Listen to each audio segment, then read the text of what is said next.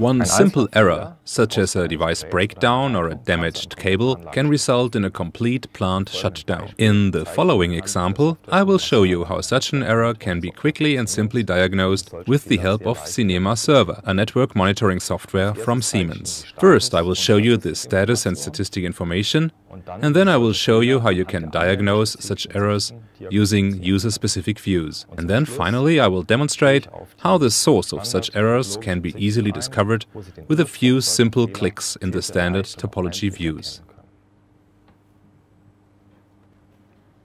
At the moment I'm in the Start page and see that SINEMA Server is currently monitoring 11 devices and all have the status OK. I also see here on the left-hand side which devices SINEMA Server is monitoring. Wireless LAN clients, switches, access points and even their manufacturer. I will now create an error by removing the cable between the two different parts of the plant.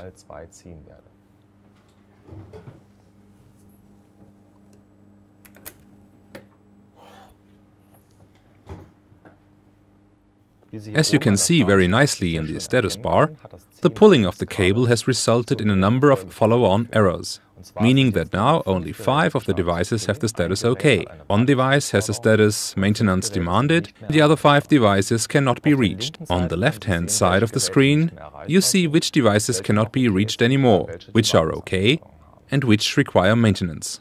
When I select the five devices that have failed here in the status bar, then I automatically change views and see now which devices cannot be reached and their details. On the other hand, in the plant-specific view, I see the device lists with their status icons and can then look in the overview with the plant picture in the background to see the unreachable part of the plant and its location. In this example, case 2 is completely disconnected and the connection cable between case 1 and case 2 is faulty.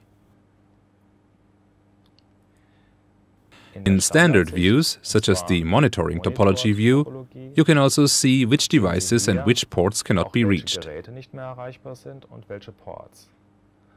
If you now change to the icon view, you can recognize very clearly from the network structure at exactly which position the cable is faulty.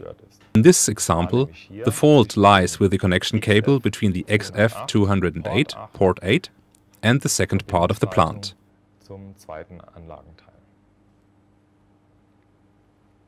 As you just saw with this simple example, SINEMA Server allows you to quickly establish which devices are showing an error and where the error has occurred in the network.